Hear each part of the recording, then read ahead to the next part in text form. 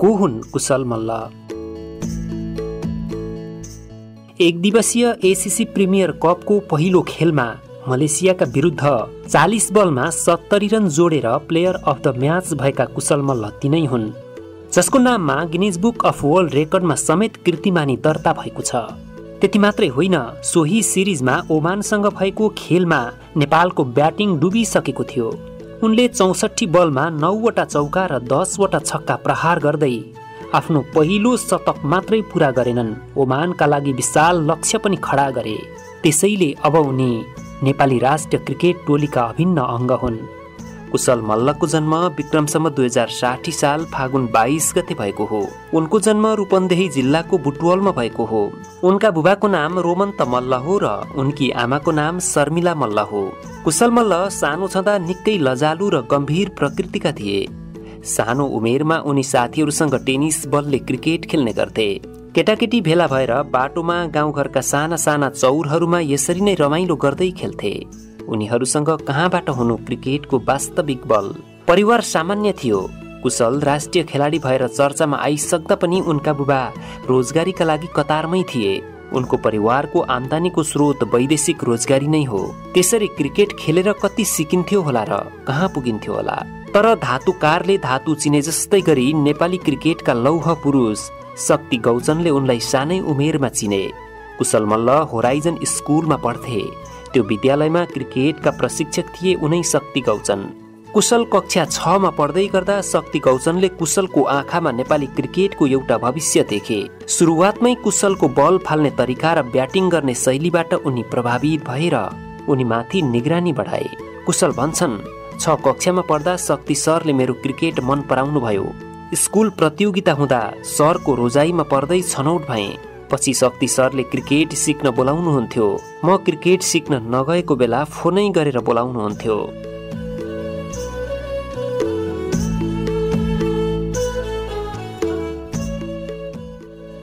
सन् दुई हजार सत्रमा थाइल्यान्डमा भएको सोह्र वर्ष मुनिको पूर्वी क्षेत्रीय टोलीका लागि शक्ति गौचनकै माध्यमबाट उनी छनौट भए।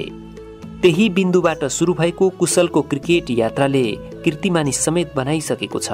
उनी भन्छन् मलाई यहाँसम्म ल्याउनमा शक्ति सरको ठुलो हात छ। म जहाँ छु उहाँले गर्दा नै छु। हुन पनि शक्ति गौचनले कुशलको घरमै गएर उनका बुबा आमालाई सम्झाएर उनलाई क्रिकेट खेल्ने वातावरण बनाइदिएका थिए। नेपालमा कला सङ्गीत र खेलको बजार अझै पनि शून्य छ। यस्तोमा कुनै पनि मध्यमवर्गीय बुबा आमा चाहँदैनन् कि आफ्ना सन्तान यी क्षेत्रमा लागुन्।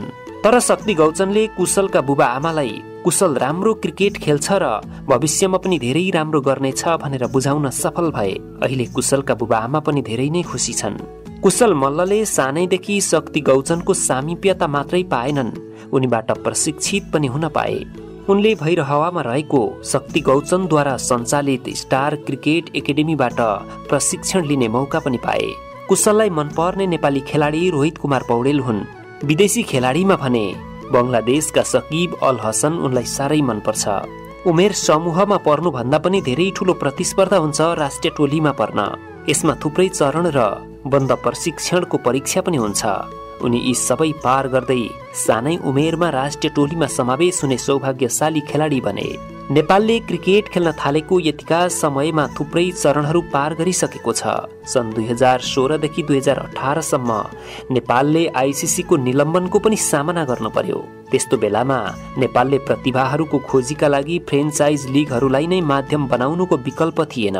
यसरी यस्ता लिगहरूको बाटो हुँदै राष्ट्रिय टोलीसम्म आइपुग्ने खेलाडीहरूमा रोहित कुमार पौडेल अविनाश बोहरा ललित नारायण राजवंशी सन्दीप जोरा पवन सर्राफ गुलसन झा र कुशल मल्ल आदि हुन्। नेपाली राष्ट्रिय टोलीको सिङ्गापुर र ओमन यात्रामा कुशल मल्ल पहिलो पल्ट समेटिएका थिए। कुशल मल्ल यस अर्थ पनि भाग्यशाली बने कि उनी बन्द प्रशिक्षणको पहिलो प्रयासमै राष्ट्रिय टोलीमा पर्न सफल भए।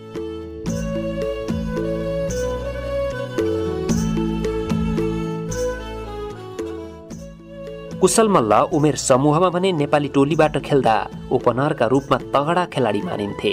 फ्रेन्चाइज लिगमा पनि उनले त्यसलाई कायम नै राखे। अहिले राष्ट्रिय टोलीमा भने उनी मध्यम क्रममा आएर फिनिसरको रूपमा खेलिरहेका छन्। त्यसको उदाहरण विश्वकप लिग टूमा होस् अथवा एसिया प्रिमियर कपका लागि भर्खरै भएको मलेसियासँगको खेलमा होस्।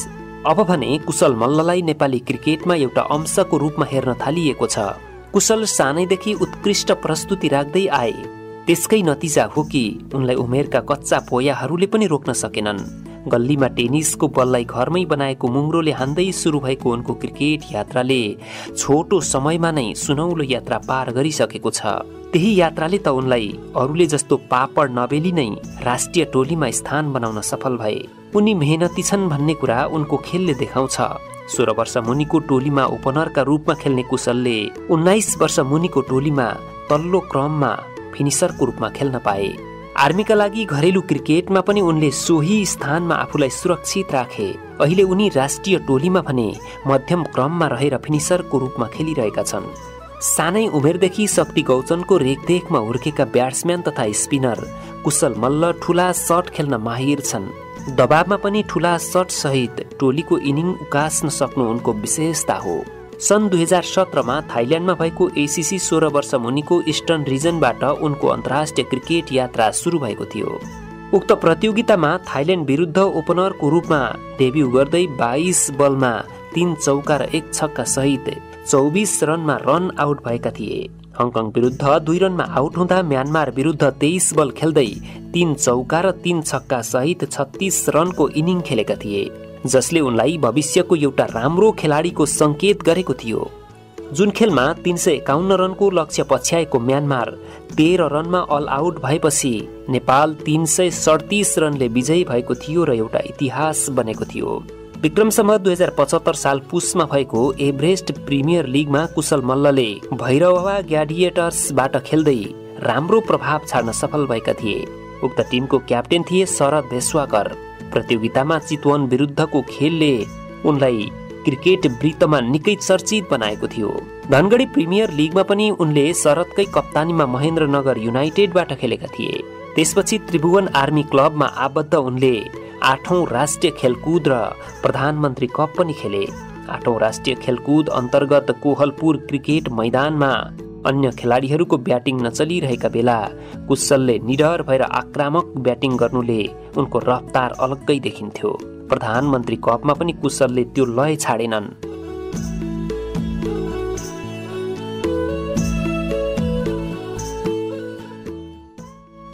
विक्रमसम्म दुई हजार पचहत्तर सालको चैत्रमा मलेसियामा सम्पन्न उन्नाइस वर्ष मुनिको आइसिसी एसिया विश्वकप छनौटमा उनले पहिलो पटक खेल्ने मौका पाएका थिए जसमा ब्याटिङमा कमै मौका पाएका कुशलले बलिङमा पाँच खेलमा दुई दशमलव शून्य पाँचको इकोनोमीमा रन खर्चिँदै आठ विकेट लिएका थिए। सन् दुई हजार उन्नाइसको जुलाईमा उन्नाइस वर्ष मुनिको एसिसी इस्टर्न रिजनमा नेपाललाई च्याम्पियन बनाउन कुशलले अलराउन्ड प्रदर्शन गरेका थिए। सिङ्गापुर विरुद्ध तेइस बलमा पाँच छक्का र चार चौका सहित एकाउन्न रनमा अभिजित रहँदै शानदार खेल प्रदर्शन गरेर राष्ट्रिय टोलीका लागि ढोका ढकढकाएका थिए। तर ब्याटिङमा मात्रै होइन बलिङमा पनि नौ ओभरमा चौध रन खर्चिएर चार विकेट लिएपछि राष्ट्रिय टोलीका लागि बन्द प्रशिक्षणको ढोका खुलेको थियो। कुशलले दुई हजार उन्नाइसमै श्रीलङ्कामा सम्पन्न उन्नाइस वर्ष मुनिको एसिया कपमा पनि आफ्नो उत्कृष्ट लयलाई निरन्तरता दिएपछि त राष्ट्रिय टोलीको ढोका मात्रै खोलिएन बस्ने ठाउँ नै सुरक्षित भयो। बङ्गलादेश विरुद्धको खेलमा पहिलो ब्याटिङ गरेको नेपालले बङ्गलादेशको बलिङलाई रनमा परिवर्तन गर्न नसकिरहेका बेला उनले बत्तीस बलमा तीन छक्का र दुई चौका सहित अठाइस रन जोड्दै खेलको माहौल नै परिवर्तन गरिदिएका थिए। सोही कारण त नेपालले बङ्गलादेशका विरुद्ध दुई सय बैसठी रनको लक्ष्य प्रस्तुत गरेको थियो। कुशल मल्लले टी ट्वेन्टी अन्तर्राष्ट्रिय अर्धशतक प्रहार गर्ने सबैभन्दा कान्छा खेलाडीको रूपमा आफूलाई प्रस्तुत गरेर विश्व रेकर्ड समेत बनाएका थिए। कृतिपुर मैदानमा सन् दुई हजार एक्काइस अप्रिल चौबिस तारिकका दिन नेदरल्यान्ड्स विरुद्ध उनले अर्धशतक बनाएका थिए। उक्त कृतिमान बनाउँदा उनी सत्र वर्ष पचास दिनका मात्रै थिए। त्यो खेलमा उनले चौबिस बलमा दुई चौका र पाँच छक्का प्रहार गर्दै अभिजित पचास रन बनाएका थिए। तर उक्त कीर्तिमानी त्यसको चार महिनापछि गिब्राल्टारका लुइस ब्रुसले तोडिदिए। ओडिआईमा भने सबैभन्दा कम उमेरमा अर्धशतक बनाउने कीर्तिमानी गिनिज बुक अफ वर्ल्ड रेकर्डमा अझै पनि कुशल मल्लकै नाममा रहेको छ। यो कृतिमानी पनि उनले किर्तिपुरको मैदानमा नै रचेका थिए। सन् दुई हजार उन्नाइस फेब्रुअरी आठमा उनले यो कृतिमानी बनाउँदा उनी पन्ध्र वर्ष तिन सय चालिस दिनका मात्रै थिए। उनले अमेरिकाका विरुद्ध एकाउन्न बलमा पचास रन ठोकेका थिए। यो कीर्तिमान भने कुशल मल्लको नाममा आउनुभन्दा पहिला नेपालका हालका कप्तान रोहित कुमार पौडेलका नाममा रहेको थियो। कुशल मल्लका अझै धेरै कीर्तिमानीहरू बन्दै जाउन्। हार्दिक शुभकामना।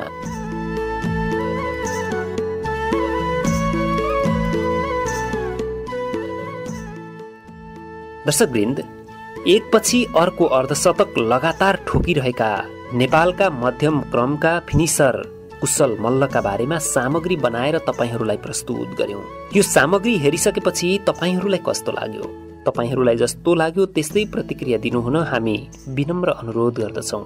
यो सामग्री राम्रो लाग्यो भने सकेसम्म धेरै सेयर गरेर हाम्रा युवा ब्याट्सम्यान कुशल मल्लको हौसला बढाउनका लागि पनि धेरैभन्दा धेरै नेपाली क्रिकेटका फ्यानहरूसम्म पुर्याइदिनु हुन विनम्र अनुरोध पनि गर्दछौँ। यो सामग्रीलाई अन्तिमसम्म हेरिदिनु भएकोमा तपाईँहरूलाई धेरै धेरै धन्यवाद। हवस् त नमस्कार।